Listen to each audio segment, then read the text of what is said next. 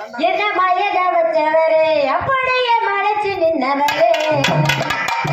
சோழ கொல்லக்குள்ள சுத்த வந்தவளே